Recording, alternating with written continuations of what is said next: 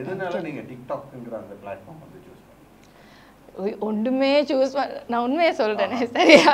எல்லாரும் எல்லாரும் எல்லாரும் எல்லாரும் கேளுங்க உண்மை வெளியே வருது சரியா? வெளிய வருது. சும்மா சும்மா வேலை வெட்டி இல்லாம வெட்டியா இருந்துச்சு சரியா. அப்ப அந்த இடம் கொஞ்சம் அழகா இருந்துச்சு. இப்ப நானும் என்னோட தங்கச்சி கேமரா எடுத்து ஆ இங்கிட்டு வா சொல்லிட்டு இங்கிட்டு வான்னு சொல்லிட்டு சும்மா ஏதோ சும்மா சொன்னோம்.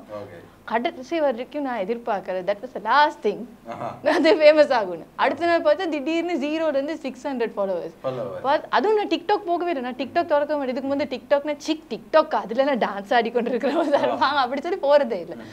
இன்ஸ்டாகிராம்ல நிறைய டிஎம் வருது. எங்க இருந்துடா டிஎம் வருதுன்னு சொல்லி தேடி பார்த்தா டிக்டாக் ப்ளோ அப் ஆகிக்கொண்டு போகுது. அப்ப சரி அது கேவலமா எல்லாம் ஏசுறானுங்க. கொஞ்சம் நல்லவனு சொல்றாங்க சரி அப்படின்னு சொல்லிட்டு அப்படி செஞ்சுட்டு போனேன். அப்படி சூஸ் பண்ணதுன்னு சொல்லிட்டேன். நான் நான் பர்சனலி நான் வந்து யூடியூப் தான் யூஸ் பண்ணிட்டு இருந்தேன்.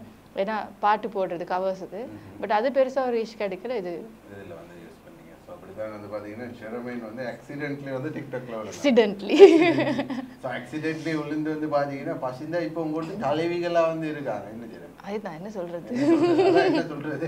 சும்மா சும்மா இருக்காம போன்கள் எடுத்து கம்ப்யூட்டர்கள் எடுத்து கொஞ்சம் வீடியோக்கள் செஞ்சு போடுங்க. சிலவனி இருக்கானுங்க பேச விருப்பம் ஆனா கே- மைக்க தூக்க விருப்பம். அப்படி அதுதான்.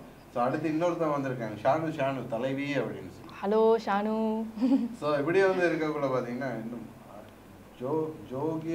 ஜோகியா இருக்குன்னு ஒரு ஒன்ஸ் மோ சார் ஜோகியா ஈக்குது தலைவிட ஏஜ் என்ன?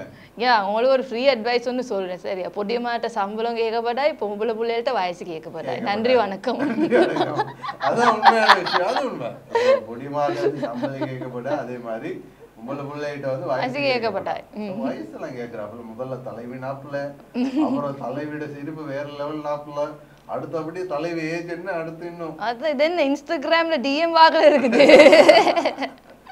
அப்படியே வந்து நீங்க தலைவிட கதைக்கணுமா இருந்தா கோல் வந்து போடுங்க வாப்பா. Zero double seven four four seven three four seven three அப்படியே கீழே பார்த்தீங்கன்னா கமெண்ட்ஸில் அப்படியே ஓடிக்கொண்டே இருக்கு ஸ்காலர்ல வந்து நீங்க கால் பண்ணி டிரெக்டா வந்து கதைக்கலாம். தலைவி யூ கிரேட் நன்றி ரக்ஷான்.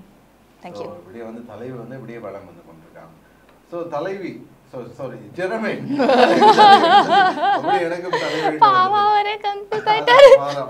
இதுல வந்து பாத்தீங்கன்னா நீங்க ஃபேஸ் பண்ண டிஃபிகல்ட்டிஸ் எல்லாமே வந்து கஷ்டம் ஸோ நீங்க குறிக்கோளா வந்து வச்சிருந்ததுன்னா ஒரு பாத். எனக்கு ஹாப்பியா இருக்கணும். யாருக்கும் ஹர்ட் பண்ணக்கூடாது. ஸோ இதனால வந்து யாரும் ஹர்ட் ஆகியிருக்குன்னு அப்படி யாராவது உங்கள்ட்ட சொல்லியிருக்காங்க அப்படி சொன்னதில்ல.